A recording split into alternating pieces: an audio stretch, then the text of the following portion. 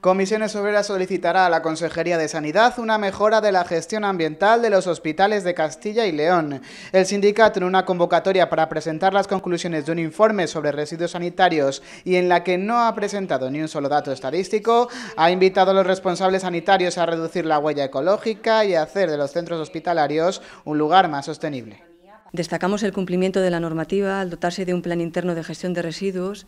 Sin embargo, sí que existen carencias para el cumplimiento del mismo, ya que a veces no se establecen las responsabilidades y hemos detectado que hay falta de formación y de sensibilización entre la plantilla. En el Hospital de León se aplica una buena distribución de residuos y se ofrecen cursos para diferenciar materiales, por lo que se entiende que el personal está concienciado con el respeto al medio ambiente. Para ahondar en una gestión ecológica del centro, Comisiones pedirá debatir cuestiones sobre residuos con los representantes de los trabajadores, la compra de materiales verdes y una reducción del gasto de agua.